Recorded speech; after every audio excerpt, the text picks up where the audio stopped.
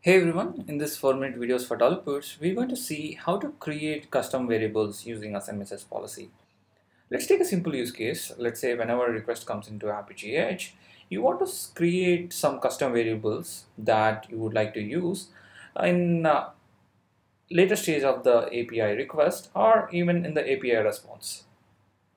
Let's say for example, you want to set these variables when the request comes in and you want to retrieve the same custom variables in the response and use it in some other policy and then modify the API behavior and send it back to the client.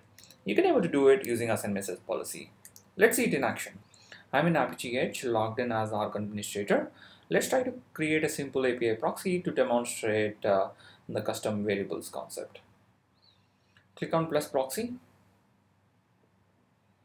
choose reverse proxy choose next. I'm gonna name my proxies as am custom var demo. Choose the base path as slash v1 slash am custom var demo. I'm gonna choose the existing API as http bin.org slash get. Choose next. Choose pass through. Choose defaults. Build and deploy once API proxy is deployed, navigate to the overview screen to access uh, the proxy endpoint. So this is my proxy endpoint. Once it is deployed, you will see under the deployments. This is my proxy, proxy endpoint. As you can see, you can see the same response. Click on develop. So what I'm going to do is I'm going to create some custom variables in the request using a assign message policy. So I'm going to say assign message am create custom var so what I'm going to do is I'm gonna create new variables as well as remove the variable once it is uh, created. So I'm going to use assign variable to create a new variable. So I'm going to name it as x var a and the value I'm going to take it as from the other variable. So I'm going to take it from the request. So request uh, dot query param dot a and then I'm going to remove this query param once it is stored in the temporary variable called x-var a.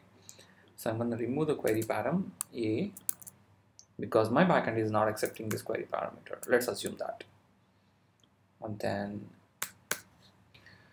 yeah, we don't need uh, curly braces here, so remove the curly braces from ref uh, just the reference request.query param.in so what we're going to do is we're going to read this uh, custom variable uh, in response flow and then modify the response uh, before it is uh, sent to the client.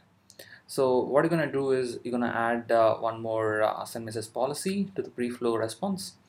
Click on pre-flow and click on plus step below the response to add one more send message policy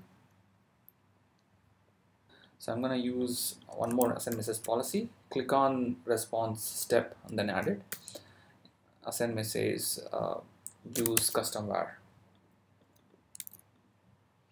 Click on add. So I just clicked on plus step in the response and I added this uh, use custom var assign message policy. So here what I'm going to do is I'm going to add a new header to the response from the variable that we have created in the request. So I'm going to remove everything except uh, headers add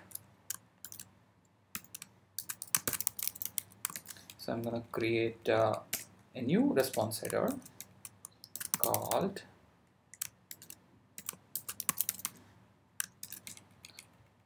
name is equal to x variable a and uh, take the value from x hyphen var hyphen a. So let's see that in action so I'm going to use uh, Postman. So I'm going to copy this particular uh, endpoint and then make an API call with a is equal to 20 and this should not go to the backend but it should be available to the client in the response. Let's see that.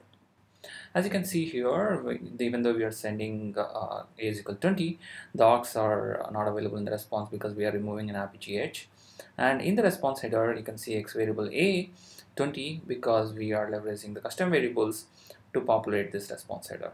So that's how uh, policy custom variable works. If you have any question, please feel free to post your questions in community.apigee.com.